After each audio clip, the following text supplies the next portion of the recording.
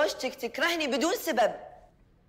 أنا كرهك أنا كرهك وأنا اللي زوجت السعد وطلعتك من العنوسة.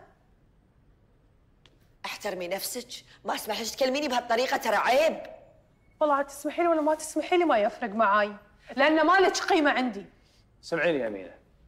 أنا أول ما ابي اتهمك إن انت مسوية السالفة. بعد ما سمعت الكلام اللي قاعد تقولينه حق هديل انت تبي تسوين فتنة بيني وبين هديل. عشان كذي دزيتي صديقتك نوال. سعد! أنا ما أسمح لك تتهم مرتي بهالطريقه أول شيء أدب مرتك وعلمها شلون تتحكى مع الناس وشلون تتصرف وبعدين قول لي ما أسمح لك. مرتي مؤدبة قسم عليك. أنت الظاهر نسيت نفسك. نسيت أنا اللي كبرتك ودرستك وصرفت عليك. أنتوا شنو؟ تخانقون قدامي؟ ما تستحون على وجوهكم؟ انت طول عمرك سكانة مرته اخذ مرتك واطلع برا يلا. اطلع برا بيتي يلا. انت طول عمرك. انسان مريض معقد امشي. يلا.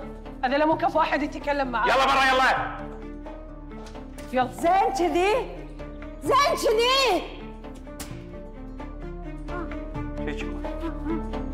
وي خالتي خالتي إيش فيك؟ إيش فيك ما فيك؟ خالتي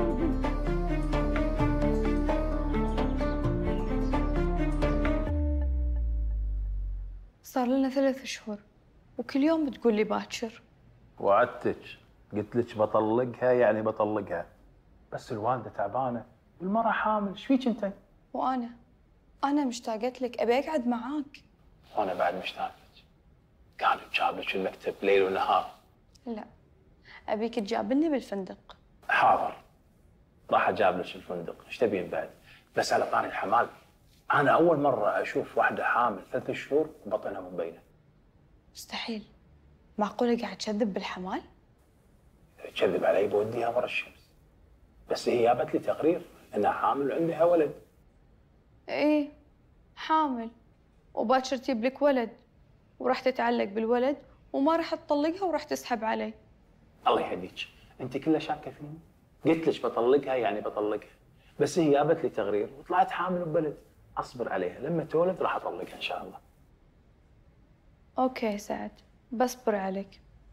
وبشوف شنو اخرتي معك.